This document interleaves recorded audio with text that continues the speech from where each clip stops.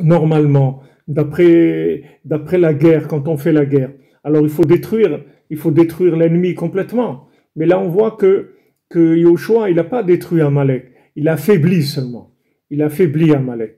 Donc de là, on apprend qu'en fait, ils ont fait ce que Hachem il leur a demandé de faire. C'est pas quelque chose que eux-mêmes voulaient faire.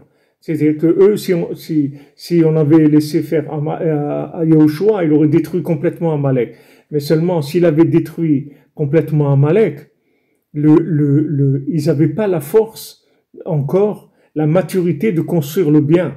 Donc qu'est-ce qu'ils auraient fait? Ils auraient été eux-mêmes à les ressusciter Amalek, à les recréer Amalek, à parce qu'ils n'avaient pas le, le bien, il n'était pas encore installé. Donc des fois, des gens, ils veulent, ils veulent quelque chose, ils veulent le bien, ils veulent arriver. Mais attends, tu n'as pas, pas la maturité encore.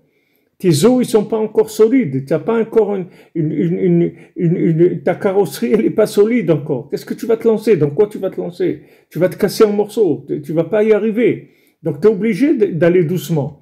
Tu es obligé d'aller doucement. Et pendant la période où tu es en train de te développer. Alors, le mal, il réussit, soi-disant. Mais sache que, que, que, le mal qui réussit, c'est uniquement pour te protéger et te permettre de développer le bien qui est en toi. Parce que ce bien-là, Hachem, il veut absolument qu'il s'installe et qu'il vive et qu'il réussisse. Alors, pendant cette période-là, il faut que tu développes la prière, la émouna, tu saches que Hachem, il est avec toi.